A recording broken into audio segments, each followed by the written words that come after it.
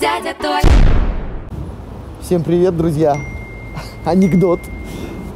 Короче говоря, семейная пара живет, и у них не получаются дети. Ну вот, чтобы они не делали там ИКО и все остальное, доктора, какие-то маги, чародеи, они уже объехали все. Вот вообще им говорят, можете ехать в Сибирь, там один мужик, он делает так, что дети появляются, там поет травками туда-сюда. Они, значит, перекладными на самолетах, на бульдозерах добираются до этой сибирской деревушки. Там мужик с такой бородой, они заходят, семейная пара, говорит, вот такая проблема, мы объехали все, от Индии до хрен знает чего, столько денег потратили, дети у нас не получаются.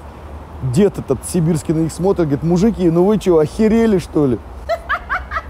Ребята, обязательно подписывайтесь на анекдоты. Вот здесь. Обязательно. Баклажан, дядя Толя. Баклажан, дядя Толя.